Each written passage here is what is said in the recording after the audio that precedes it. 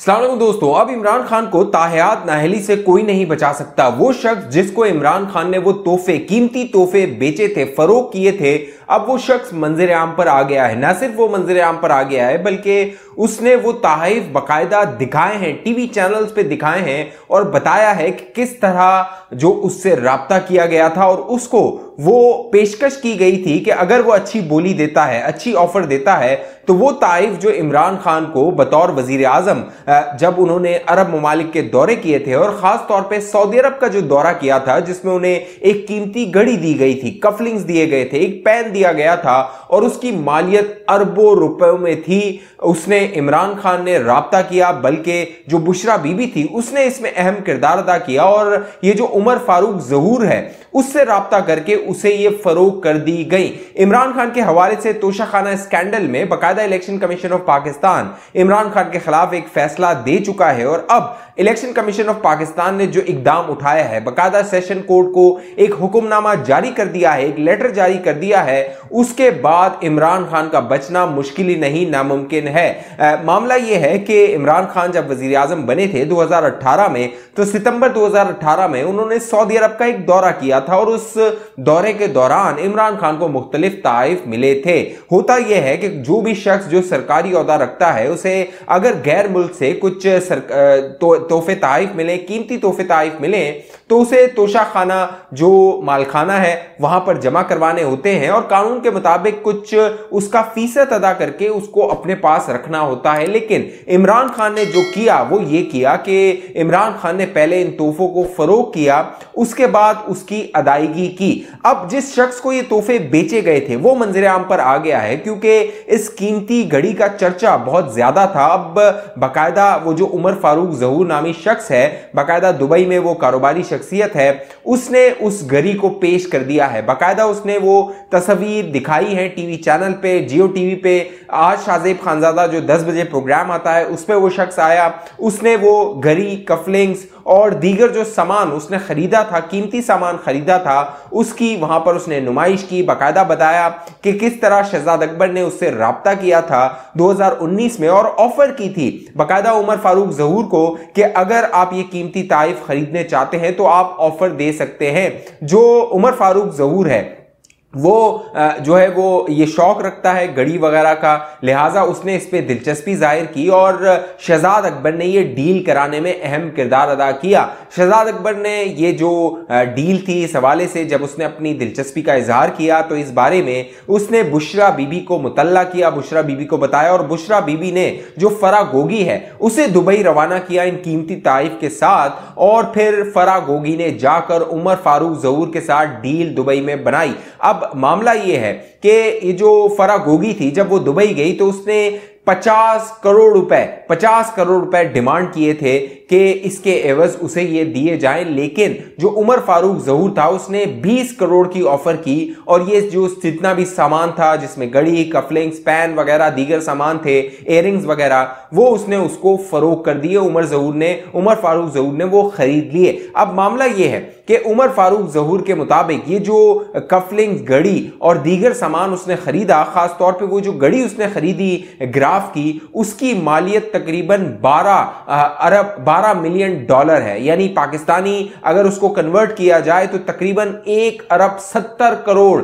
रुपए जो है वो उसकी मालियत बनती है उमर फारूक जहूर के मुताबिक, जो उसने, जो कंपनी है, उससे जिस, जो बोली लगवाई, उसका दाम लगवाया है। अब दिलचस्प बात यह है दोस्तों, जो शहजादा मोहम्मद बिन सलमान है, उसने इमरान खान को जो ये कीमती घड़ी का तोहफा दिया था, इस घड़ी को आप देखें तो इसमें बाकायदा खाने काबा बना हुआ है। ये सोने की घड़ी है और उमर फारूक जहूर के मुताबिक जब इसने इसकी मालियत पता की तो उसको पता लगा, दुनिया में ये वाहिद घड़ी है, बाकायदा ये जो बादशाह है, वहाँ के सऊदी अरब के शहजादे हैं, उन्होंने ऑर्डर पर बनवाई थी इमरान खान के लिए, क्योंकि वो पाकिस्तान के वज़ीर आज़म थे। पहले दौरे पर वो सऊदी अरब जा रहे थे, लिहाजा उनको तोहफा पेश करना था।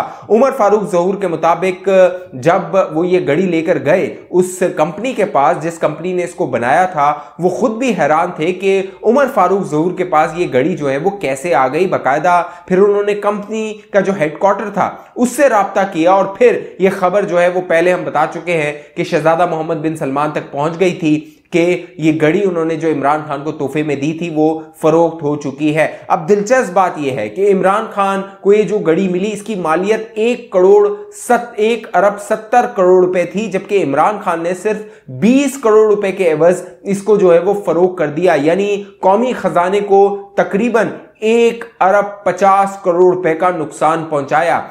होना तो ये चाहिए था कि इमरान खान साहब इसको कौमी खजाने में जमा करवा देते और जो एक जायज़ चीज़ होती, जायज़ जो इस पर अदायगी करनी होती, वो करके जो है वो ये अपने पास रख लेते। लेकिन उन्होंने जो रियासत मदीना का नाम लेते हैं, हाथ में उनकी तस्बी होती है, एक खाने काबा जो गड़ी में बना हुआ था, उस तक को जो है वो नहीं छोड़ा और उसको जाकर फरोग करवा दिया। इसमें शहजाद अकबर का जो किरदार है, बड़ा मशकूक है, क्योंकि उमर फारूक जहूर के मुताबिक शहजाद अकबर इसमें अपना हिस्सा मांग रहा था।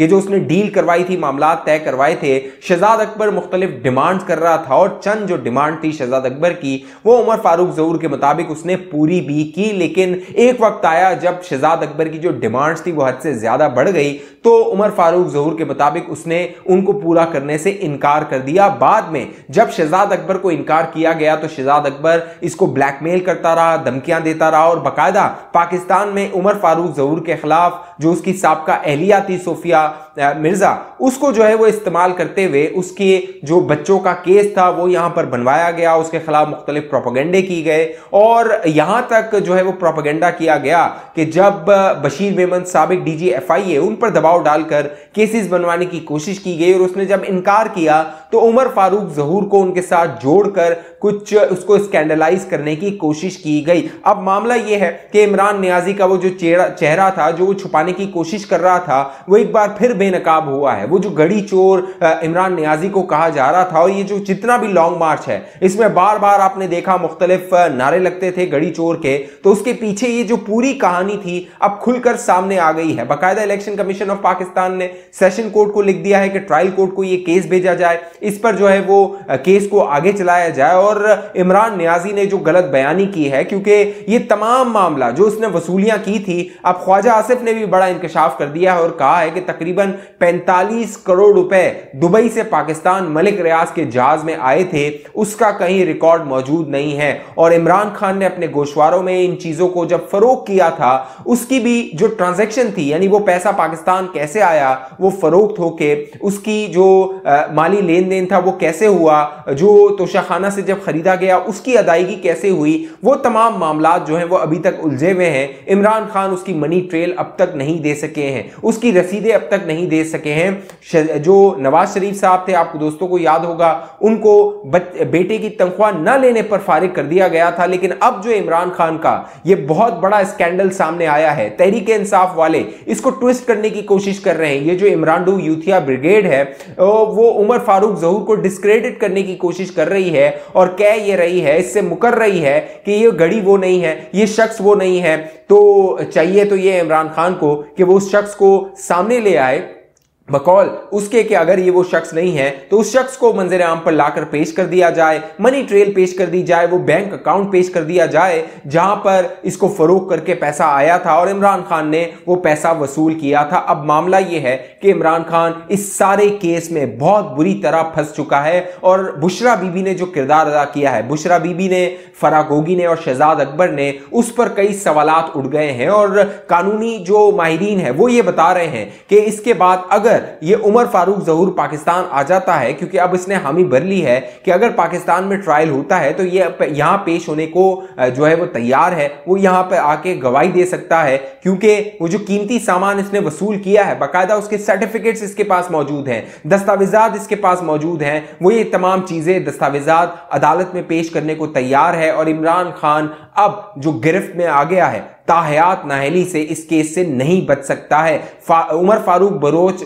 जो जहूर है उसने बड़ा धमाका कर दिया है। बहुत बड़ी खबर ये मंजर आम पर आई है और ये तमाम जितने भी रियासत मदीना के दावेदार थे और जो है वो हाथ में तस्वीर लेके कहते थे हम पाकिस्तान को रियासत मदीना बनाएँगे। ये एक बार फिर बेनकाब हुए हैं। इनका फितना बेनकाब हुआ है। इस हवाले से आप दोस्तों की जो भी राय हो नीचे कॉमेंट ज़रूर कीजिए। जिन दोस्तों ने अभी तक ये चैनल सब्सक्राइब नहीं किया आप दोस्त बाखबर रहना चाहते हैं हमारे चैनल को सब्सक्राइब कीजिए। सात घंटे का निशान है, उसको लाजमी दबाइए। फेसबुक पे देखने वाले दोस्त हमारे पेज को लाइक फॉलो करके इस वीडियो को लाजमी शेयर कर दीजिए। अगली वीडियो तक मुझे इजाज़त दीजिए दोस्तों। पाकिस्तान, जिंदाबाद।